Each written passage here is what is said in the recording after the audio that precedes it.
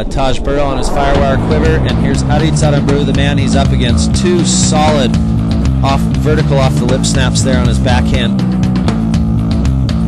As we see yellow up and riding once again, Aritz Aranburu. In a bad way then, two solid manoeuvres off the top. So speedy and so fast, a lovely quick vertical snap. This manoeuvre right here, super critical. Lovely lit line snap. Just comes down with a lot of speed, just kicks the tail out the back. Super easy for Taj Burrow.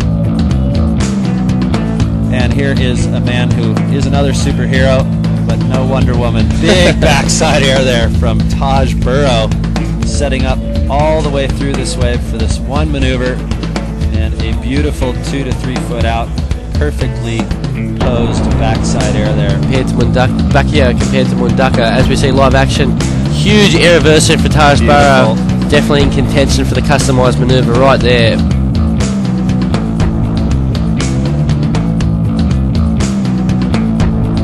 Um, he pounced on me at the start. He caught 100 waves and he was tagging it, tagging them left, right, and centre, and all around me. So uh, yeah, not an easy heat, but um, I kind of knew I, you know, wanted to pick the waves that allowed me to get, you know, three turns in hopefully, and and then I did pick a left that, that did that, and I got my big score. So yeah, just tried to be a little bit more selective, but yeah,